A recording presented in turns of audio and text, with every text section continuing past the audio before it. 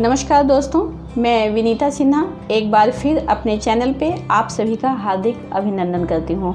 दोस्तों, आज हम बात करेंगे मेजर अरकाना के चौदह नंबर के कार्ड की टेम्परेंस की। टेम्परेंस यानी संयम। तो चलिए हम समझते हैं इस कार्ड की ओवरऑल सिंबोलॉजी को मीनिंग को, ये कार्ड क्या कहता है। हम इस कार्ड में देख रहे हैं कि एक एंजल टाइप पर्सन है, जिसके दो विंग्स है, यानी ये एंजल है। सिर के पीछे रोशनी है, यानी डिवाइन एनर्जी है। सिर पे स्टार है, जो स्पिरिचुअल एनर्जी को रिप्रेजेंट कर रहा है। हम इस कार्ड में देख रहे हैं कि इस पर्सन के हाथ में दो कप है, जो लेफ़्ट से राइट में कुछ लिक्विड फ्लो कर रहा है।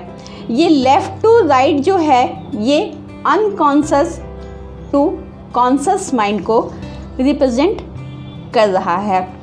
ड्रेस भी हम देख रहे हैं कि बिल्कुल वाइट ड्रेस है गाउन टाइप यानी देखने से ही ये पर्सन स्पिरिचुअल टाइप दिख रहा है।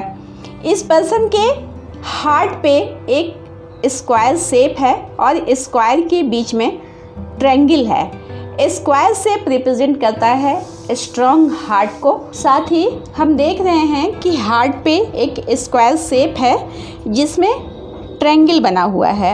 यानी ये पर्सन जो है, ये स्ट्रॉन्ग हार्टेड है। ये चारों तरफ़ की हकीकत को जानने वाला है और स्पिरिट पावर को भी ये शो कर रहा है। दूसरी, दूसरा चीज़ ये ये रिप्रेजेंट कर रहा है स्क्वायर यानी इसमें चार हैं और ट्रेंगल यानी तीन।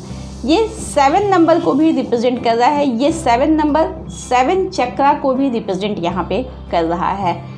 आगे हम देखते हैं कि एक उगता हुआ सूरज है और एक रास्ता है जो बिल्कुल सूर्य की तरफ़ आ रहा है। यानी ये शो कर रहा है एंड ऑफ़ पाथ को, जो एक पॉजिटिविटी को, एक ऐसा रास्ता है जो बिल्कुल सूर्य तक लेकर के जाएगी। साथ ही हम देख रहे हैं कि इस पर्सन का एक पैर पानी में है, एक पैर बाहर है। यानी ये पर्सन गिव एंड टेक को बहुत अच्छी तरह समझने वाला और स्टेबिलिटी और इमोशन दोनों तरीके से ये काम करने वाला पर्सन है। पीछे बहुत सारे ग्रीनरी है। ग्रीनरी जो है, वो ग्रोथ को रिप्रेजेंट करता है। फ्लावर जो है, वो भी ग्रोथ को रिप्रेजेंट करता है। साथ ही हम देख रहे हैं कि पानी में एक मछली दिख रही है हमें। मछली जो है, ये कोई आने वाली खुशी को रिप्रेजेंट कर रहा है। इस तरह ये कार्ड जो है टेम्परेंस का कार्ड ये बहुत ही पॉजिटिव कार्ड है। ये कार्ड किसी भी कार्य के लिए निकलता है। तो उसका आंसर यस में होगा। जॉब के लिए बिज़नेस के लिए मैरिज के लिए तो आंसर यस में ही होगा। यानी ये पॉजिटिव काम है, उस काम में बहुत ही सफलता मिलेगी। यानी इस तरीके से हम कह सकते हैं कि अगर कोई person carefully control of factor के साथ में अगर कार्य को करता है तो सक्सेस उसे अवश्य ही मिलेगी।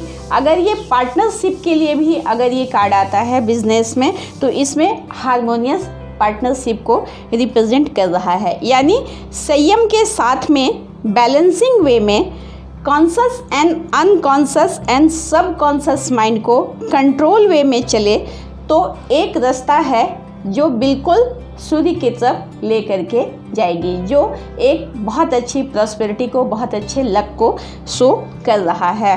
चौदह नंबर के कार्ड के लिए हमें पता है कि ये बुद्ध का कार्ड है तो नॉर्थ डायरेक्शन में अगर बुद्ध की रेमेडीज़ बुधवार को, की जाए तो इनके लिए बहुत ही फ़ायदेमंद रहेगा।